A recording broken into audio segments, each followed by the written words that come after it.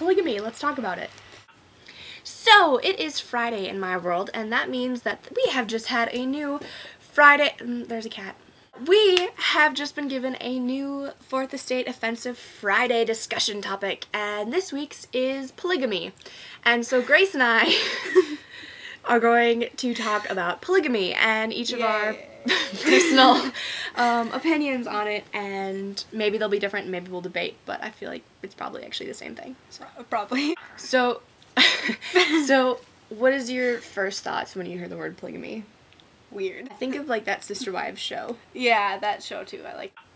So a lot of what they talked about um, on the discussion group was how it would affect a person economically. Like, would a man or woman be able to uh, financially support that many wives and then that many children or grandchildren that that come from having that many wives? Ooh, I've never thought of that. Right? Yeah, I was so surprised. I was like, I've never thought about that. If you're going to be getting married and having kids and like you're planning out to do that, you should already have a financial plan ahead of you.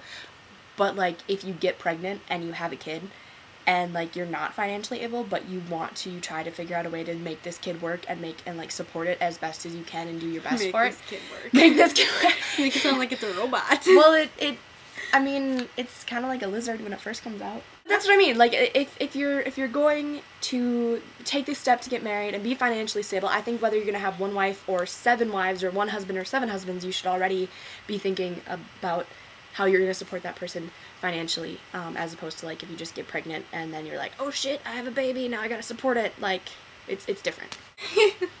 um in other cultures, polygamy is already legal. oh yeah. I don't know. Um I think it's fine. I think it's fine. Like, go for it if you if you want to. If you're, like you said, financially stable enough. But my like, I would never. I would never do that. Yeah. I can't even handle like one guy, at all ever. So seven, not not even gonna It could, it could be like gay polygamy too, though. It could be like lesbian polygamy too. I can't handle you. You can't handle like seven of me. no, no. Could never share someone I was intimate with. I, I just I couldn't do it. It it. I don't think I I mean I don't think it's wrong because you know.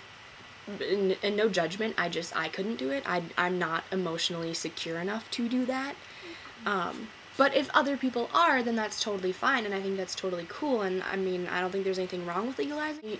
Could be something that could work, but at the same time, I mean, a lot of cases of polygamy in the United States ends up in cult-like situations where or a TV show. America.